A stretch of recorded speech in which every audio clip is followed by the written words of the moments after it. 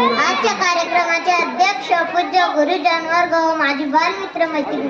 आज मी तुम्हाला काही दोन शब्द सांगणार आहे ते तुम्ही शांत चित्ताने ऐकावे. अशी माझी नम्र विनंती. आज आपला भारत देश प्रजासत्ताक दिन मोठ्या उत्साहात साजरा करत आहोत हा आपला महत्वा महत्त्वाचा राष्ट्रीय सण आहे या सणानिमित्त आपणास हार्दिक शुभेच्छा पंधरा ऑगस्ट एकोणीसशे सत्तेचाळीस रोजी आपला भारत देश ब्रिटिशांचा जुलमिराच्या टीतून स्वतंत्र झाला.